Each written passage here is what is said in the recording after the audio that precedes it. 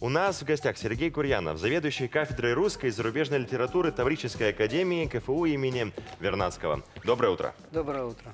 Доброе утро. Ну, а, мы знаем, что сегодня Пушкинский день, и с чем вас э, тоже поздравляем. Но вот скажите, русский богат, он, э, язык, он, конечно, богат, велик и могуч. А вот все ли у нас так хорошо? Нет ли у нас проблем в русском языке? Ух ты. А, Я пришел говорить о Пушкине, а не о русском языке. Проблем в русском языке нет.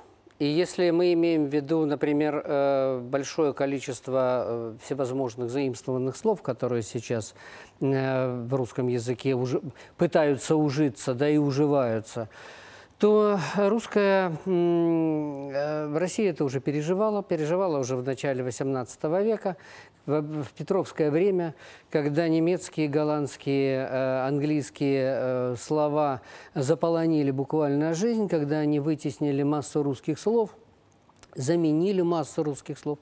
Но э, остались, в общем-то, очень э, немногие из этих слов. Поэтому я думаю, что русский язык настолько действительно велик и могуч, что он переварит, переживет и усвоит только то, и освоит только то, что в русском языке, э, что русскому языку необходимо, что приносит какие-то ну, новые смыслы. И действительно, но по-настоящему невозможно говорить о поэте, не затрагивая русский язык, потому что даже его влияние на, насколько я понимаю, современную литературную речь было колоссальным. Вот в чем оно заключалось, собственно? Может быть, он э, принес какие-то инновации в русский язык? Ну, Пушкин считается, э, по сути дела, родоначальником современного русского языка. До этого и у Державина, и у Карамзина того же, э, учителей, по сути дела, и у Жуковского, учителей Пушкина, э, конечно, был очень э, богатый язык, но Пушкину удалось это все как-то объединить, объединить вместе, да, сделать его насыщенным самыми различными. Пушкин не боялся пользоваться языком.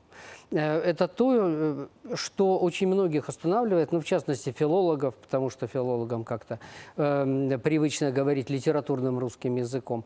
А в целом, э, э, главное для того, чтобы быть великим поэтом, главное все-таки не бояться языка, чувствовать его, жить им.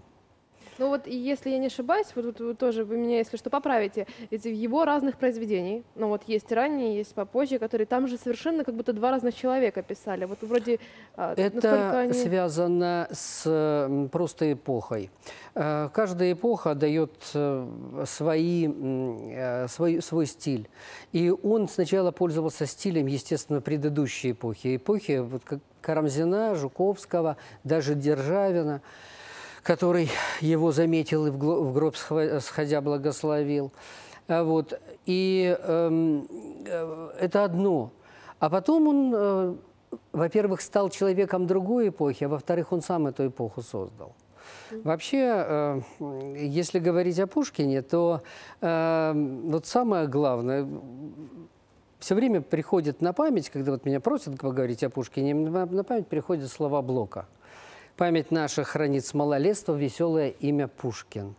И вот это вот самое веселое имя, это действительно очень э, важно, потому что м, от этого не только, на этом строится не только русская литература.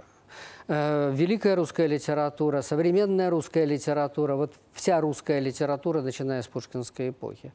У меня, я убежден в том, что каждый народ так или иначе создает эм, человека, и прежде всего это выразитель духовной жизни нации. Э, А в русской, литера... в русской духовной жизни это прежде всего Пушкин создает человека, который полностью народ выражает. Вот от начала до конца, то, что называется с низов до верхов. А потом, благодаря тому, что он нашел это выражение, он начинает влиять и на последующие эпохи. Вот в каждом из нас есть Пушкин именно потому, что без него нельзя, потому что, как сказал Аполлон Григорьев, Пушкин наше все. И действительно, э, мы, собственно, начинаем свою жизнь, нам читают стихи Пушкина, сказки Пушкина, и мы запоминаем это. И, и так или иначе Пушкин нас сопровождает. И э, это не зависит от того, кем мы работаем, где мы мы служим, что мы делаем, какая его знают все профессия. в любом возрасте совершенно. А я вот сейчас Мы- подумал, да, у лукоморья дуб зеленый, знает, наверное, вс- ну вот нет человека в этой студии, да нигде, кто, да, золотая цепь над битом не продолжит обязательно. Я думаю, что да. Э, Но э, вообще по-разному, конечно, приходит. Кто-то, конечно, и не знает, это действительно с малолетства, но э, это, это Вот почему этот, это самое лукоморье, о котором мало кто знает, да, и кто понимает эти слова, почему эм, э, э, дуб зеленый и все прочее, этот кот, все, все оно запоминается, все так усваивается. Это, в этом магия слова, именно пушкинского слова, потому что он собирает... очень яркие вызывает всегда. Вот знаете, вот почему, вот мне кажется, в чем специфика еще этого поэта, он э, настолько яркие образы приводит, и ты их как-то видишь, даже если ты ну, как-то вот визуализируешь. Вот поэтому я и говорю, что э, это, это, вот эта магия слова, она вы начали разговор о русском языке. Да, это очень здорово, что у нас есть русский язык, но он великий и могучий потому, что э, в нем э, прежде всего был Пушкин. Потому что Пушкин прежде всего пользовался русским языком. Недавно э, довелось встретиться с э, замечательным э, переводчиком Пушкина э, Джулианом э, Лоуэнфельдом. А Вот, э, он приехал к нам на Великое Русское Слово и заехал в Крымский федеральный университет. Э, Американец, который с массой всевозможных э, национальных корней, для которого Пушкин это, это вот не просто часть жизни, это, собственно, вся его жизнь. Он им живет, он им дышит, он его переводит, несмотря на то, что является юристом.